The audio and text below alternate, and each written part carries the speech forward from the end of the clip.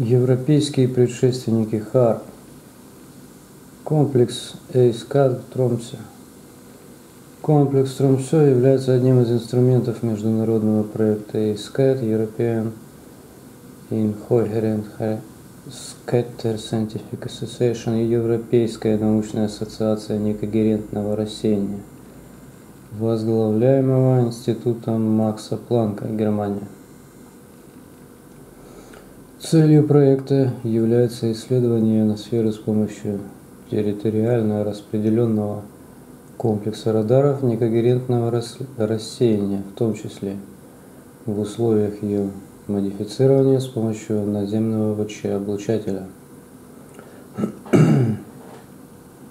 Кроме Тромсё, матчасть проекта расположена также на площадках коммуны Кируна, Швеция, общины Садекюля, Финляндия, и на Свальбарде, Шпицбергене. Комплекс расположен в местечке Рамфорт-Моен под Тромсё на земле, принадлежащей университету Тромсё. Кроме интересующего в разделе настоящего обзора нагревателя – там расположены также два радара некогерентного рассеяния с частотами 930 и 224 МГц.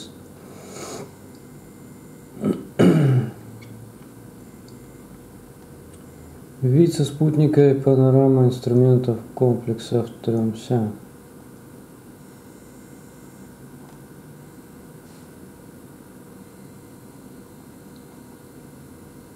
Излучатель нагревателя состоит из трех независимых антенн.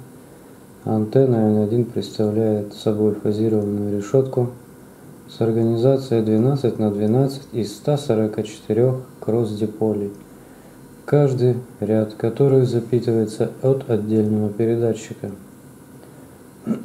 Полоса пропускания антенны от 5,3 до 8 МГц, коэффициент усиления до 30 dBi – что обеспечивает ширину лепестка диаграммы 5-7 градусов и эффективную излучаемую мощность до 1200 МВт. Антенны N2 и N3 также являются фазированными решетками, но с организацией 6 на 6 из 36 кросс-диполей каждая. При этом ортогональные диполи каждого ряда запитываются от отдельных передатчиков –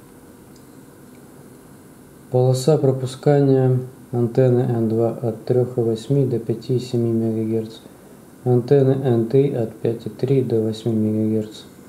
Коэффициент усиления каждой из этих антенн до 23 dBi при ширине лепестка диаграммы 10-14 градусов. При этом эффективная излучаемая мощность достигает 300 МВт.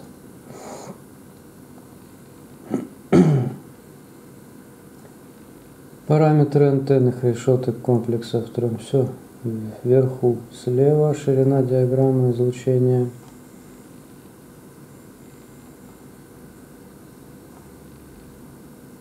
Справа коэффициент усиления.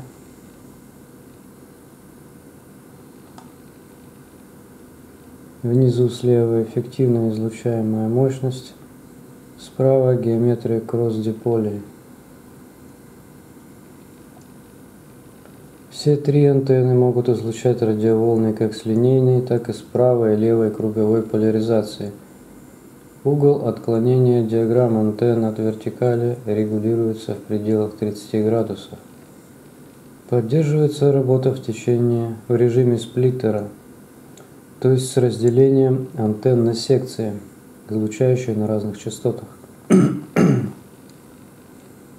Антенны запитываются от 12 передатчиков – с максимальной выходной мощностью по 100 кВт, которая может регулироваться ступенчато с шагом 2,5%. Предусмотрены также режимы амплитудной и импульсной модуляции. Все управление нагревателем полностью компьютеризировано. Выходные каскады передатчиков реализованы на мощных вакуумных тетродах с водяным охлаждением – Фидерная система, как и в рассмотренных американских предшественниках ХАР, построена на волноводах из алюминиевых растительных труб.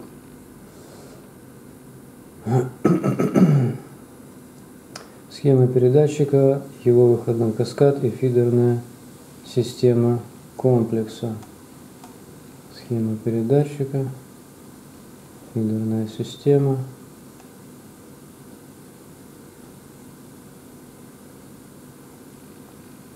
Кроме радаров, некогерентного излучения для работы с нагревателем используются и другие диагностические инструменты. В частности, расположенные непосредственно на его площадке ионозонды различных типов. Комплекс ESCAT в Тромсё был запущен в 1979 году и на нем было проведено большое число экспериментов с участием международного научного сообщества – он неоднократно подвергался модернизации, успешно функционирует в настоящее время, но продолжает развиваться. На странице статуса отображается состояние всех передатчиков комплекса в реальном времени. Комплекс Пер на Свальбарде – Комплекс по программе Spear Space Plasma Exploration by Active Radar исследование космической плазмы с помощью активного радара. Был создан подразделением РСПП Radio and Space Plasma Physics Университета города Лестера, Великобритания, при финансовой поддержке консультативного комитета PPRSC UK Particle Physics and Astronomy Research Council – он разрабатывался с отработкой его компонентов на макетах с 1999 года и был запущен в эксплуатацию первого этапа в апреле 2004 года. Главной задачей программы SPEAR являлось исследование взаимодействия солнечного ветра с верхними слоями атмосферы, в том числе исследование влияния солнечных циклов – на климатические изменения. Такая специализация наложила определенный отпечаток на архитектуру и параметры комплекса, который объединил в себе функции нагревателя ионосферы, радара малой мощности и мощного радара некогерентного рассеяния. Комплекс был построен на Свальбарде, Шпицберген, недалеко от населенного пункта Лонгир Лонгирбен точки с координатами такими-то в нескольких сотнях метров от радаров ЕСК. В 2013 году было принято решение о его закрытии, и в 2014 году он был демонтирован, оставив после себя лишь несколько постаментов от оборудования построек. Панорама 2004 года и карта 2019 года комплекса СПИР. Панорама и карта. Антенна комплекса на первом этапе представляла собой фазированную решетку 6 на 4 из 24 кросс-диполей. На следующем этапе я планировалось увеличить до размера 6 на 6, но этот этап не состоялся. Кросс-диполи по конструкции были полностью аналогичны кросс-диполям комплекса ASCAT, но имели длину 48,4 метра и располагались на высоте 17 метров над землей. Антенная решетка комплекса SPIR –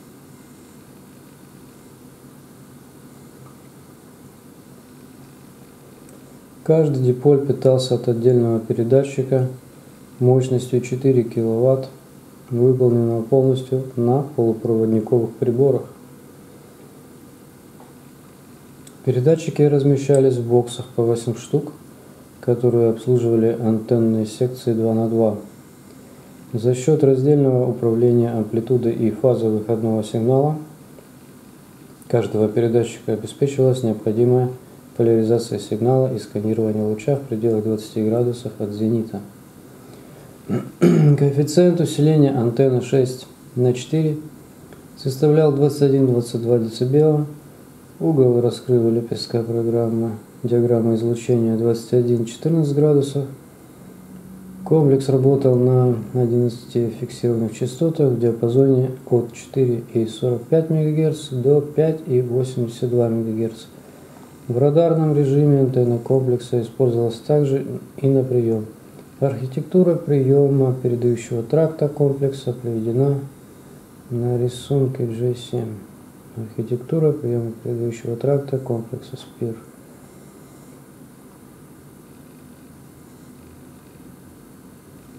Комплекс обеспечивал реализацию трех режимов. Активный режим предназначался для разогрева ионосферы на максимальной мощности с использованием импульсной модуляции на частотах ниже 1 Гц. Режим радара малой мощности предназначался для фонового мониторинга атмосферы и ионосферы в то время, когда другие режимы не использовались. Максимальная мощность в этом режиме 10 кВт при импульсной модуляции. Режим магнитосферного радара предназначался для зондирования магнитосферы на высотах от 1000 до 8000 км. Использовалась полная мощность комплекса и импульсная модуляция.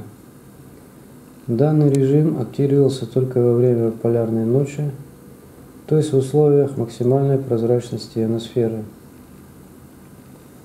Лог включений комплекса включает около 50 рабочих записей, относящихся к 2004-2005 году, плюс записи тестовых включений в конце 2003 года.